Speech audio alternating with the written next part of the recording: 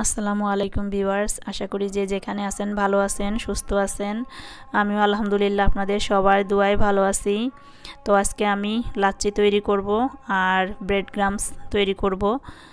মানে ঘরে কীভাবে কম খরচে ব্রেড ক্রামস তৈরি করা যায়, সেটাই শেয়ার করব আপনাদের সঙ্গে। তো তার আগে মিষ্টি দইয়ের লাচ্ছিটা তৈরি করব। কারণ রোজা থেকে সারাদিন পর একটু যদি ড্রিঙ্কস ঠান্ডা ড্রিঙ্কস কিছু হয়, তাহলে মানে মনটা ফ্রেশ হয়ে যায়, ভালো লাগে।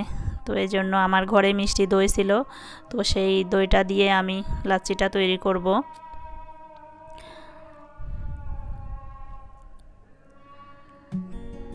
তো ভিডিওটি শেষ পর্যন্ত না টেনে দেখুন, আশা করি ভালো লাগবে আর উপকারেও আসবে। তো এখানে আমি আড়াইশো গ্রাম পরিমাণ দই নিয়ে নেব।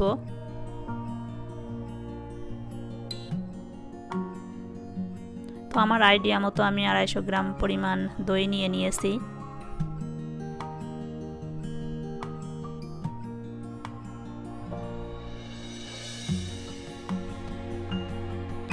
আর এই যে তিন চামচ পরিমাণে চিনি নিয়ে নিলাম আমি। চিনিটার পরিমাণ আমি কমই নিলাম, কারণ মিষ্টি দইয়ে চিনি কম লাগে। দইয়েই মিষ্টি থাকে, পর্যাপ্ত মিষ্টি। তারপরেও বাচ্চারা খাবে এই জন্য আমি একটু চিনি দিয়ে দিলাম। আর এই যে দেব ফুল ক্রিম, গুঁড়ো দুধ।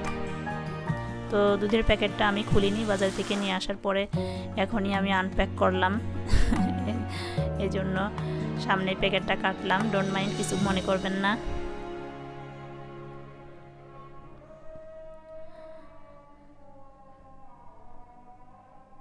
তো গুঁড়ো দুধটা আমি নেব, আধা কাপ চা, আমি যে চা খাই সেই চা, চায়ের কাপের পরিমাপের আধা কাপ নিলেই হয়ে যাবে। তো আমার আইডিয়া মতো আমি সব কিছু দিচ্ছি, কারণ আমার বানাতে বানাতে আইডিয়া হয়ে গেছে। তো এই কারণেই আমার সেই আইডিয়া মতোই আমি সব কিছু দিচ্ছি।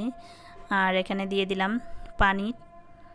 তো আপনারা যদি ঠান্ডা খেতে পছন্দ করেন, তাহলে ফ্রিজ থেকে ইয়ে বরফ বের করে দিতে পারেন। তো আমি বাচ্চারা খাবে, যেহেতু এখন ঠান্ডা খাওয়া যাবে না, ঠান্ডাটা কম খাওয়াই উচিত।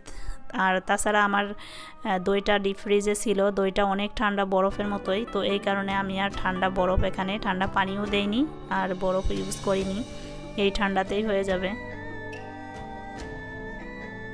তো এটা এখন আমি সব কিছু দিয়ে ব্লেন্ড করে নিচ্ছি। আর এটা বানাতে খুবই কম উপকরণ লাগে। একদমই কম উপকরণ উপকরণ দিয়ে কম সময়ে তৈরি করে ফেলা যায়।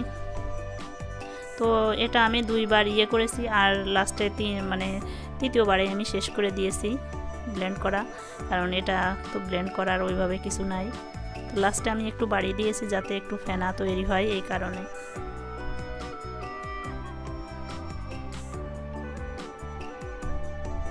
এই যে, এরকম হয়েছে। এটা আমি এখন গ্লাসে সার্ভ করে নিব। তো সারাদিন রোজা থাকার পরে আসলে একটু ঠান্ডা খেতে ভালোই লাগে। আর লাচ্ছি তো সবাই পছন্দ করে। বাইরে রেস্টুরেন্টে গেলে তো বাচ্চারা অন্য খাবারের সঙ্গে লাচ্ছি না খেলে ওদের চলেই না। তো এইভাবে ঘরে তৈরি করে দিলে বাচ্চারা খুবই খুশি হয়।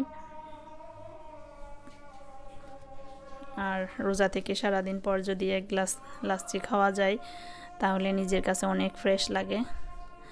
তো এই যে আমি ব্রেড নিয়ে নিয়েছি, এখানে আমি ছয় পিস ব্রেড নিয়েছি। ব্রেড কিনে নিয়ে নিয়ে এসে ওর আব্বু রেখে দিয়েছে আর ওরা খেয়ে ফেলেছে অর্ধেকগুলো আর বাকি অর্ধেকগুলো দিয়ে আমি তৈরি করে নিব। তো এখানে ব্রেডগুলো আমি একটু তাওয়ায় সেকে নিয়েছি, নিয়ে আমি চুলার নিচেই রেখে দিছি। চুলাটা জ্বালিয়ে রেখে আমি চুলার নিচেই রেখে দিছি। রেখে দিয়ে এগুলি আমি শুকিয়ে নিব। তো এইভাবেও করা যায়। আবার চুলাতে তাওয়া দিয়ে মানে তাওয়ার উপরে দিলে কালার হয়ে যায়। এই যে আমি তাওয়ার উপরে দিয়েছিলাম, সেখানে ওর জন্য তো একটু কালার হয়ে গেছে। তো এতে কিছু যায় আসে না, কিছু হবে না। আর যার পর্যাপ্ত পরিমাণে রোদ আছে, ছাদে দেওয়া যায়, তারা রোদে শুকাতে পারেন। তো আমার মনে হয় রোদে শুকানো থেকে চুলায় নিচে শুকালে আমার মানে দুই ঘণ্টা হয়ে যায়, দুই ঘন্টাও লাগে না, এক ঘন্টাতেই ব্রেড শুকিয়ে যায়। তো এই যে এগুলি আমি ভেঙে একটু ছোট ছোট করে নেব, কারণ এটা আমি ব্লেন্ড করব। আর আপনি পাটায় পিষেও করতে পারেন, অনেকভাবেই করা যায় এটা। তো ব্লেন্ডারে দিলে তাড়াতাড়ি হয়ে যায় একদম। আর এই ব্লেন্ডারটা আমার ম্যাজিকের মতো কাজ করে, মাংসের কিমা তৈরি করার যে ইয়েটা, ওইটাতে আমি দিয়ে দেব। ওটাতে আমি দুইটা ইয়ে দিলেই হয়ে যাবে। মানে পাঁচ সেকেন্ডের মধ্যেই আমার এটা হয়ে যাবে। ইয়ে করা ব্লেন্ড করা। এই ব্লেন্ডারটা অনেক ভালো, আমার কাছে ভালো লাগে।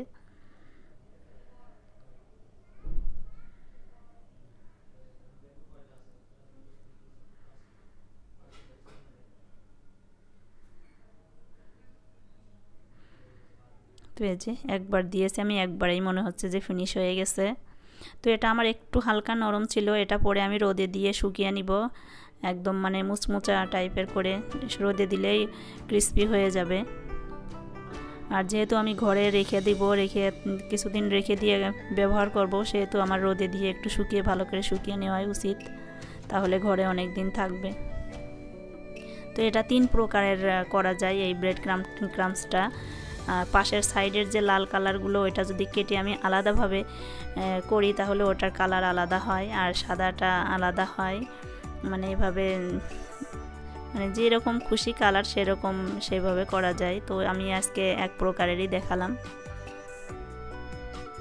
তো বাজারে এখন দৌড়াদৌড়ি করার কোনো প্রয়োজন নাই। ঘরে বসে ব্রেড কিনে নিয়ে আসে, এভাবে করে নেওয়া যায়। তো এই যে আমার ব্রেড ক্রামস রেডি আমি এখন একটা বয়ামের মধ্যে, কাচের বয়ামের মধ্যে রেখে দেব। তাহলে ভালো থাকবে। তো আমার আজকের ভিডিওটি কেমন লাগল জানাবেন কমেন্টে, আর যদি ভালো লেগে থাকে তাহলে একটা লাইক দিয়ে দিবেন।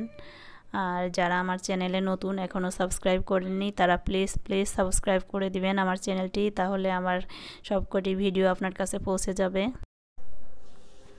তো ভালো থাকবেন সবাই, খোদা হাফেজ।